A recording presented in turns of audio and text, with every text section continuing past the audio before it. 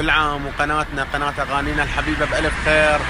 ويا رب من الأفضل للأفضل في خدمة الفنان العراقي. تحياتي لكم من باريس أخوكم الفنان يوسف الغالي.